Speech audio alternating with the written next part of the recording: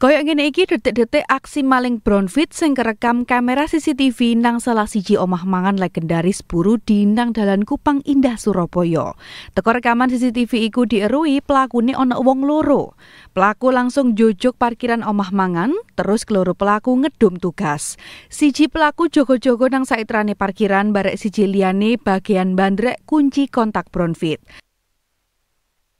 Pelaku sempat kangelan barek sempat tiba pas ape nggawa mlayu Brownfit incerane polahe gawe kunci double.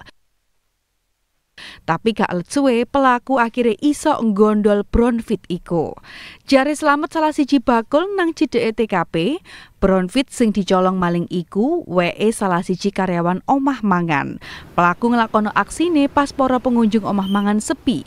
Korban buru sadar Brownfit ilang pas neleki Brownfit sing iku ape digawe metu. Bagus Setiawan, CTV.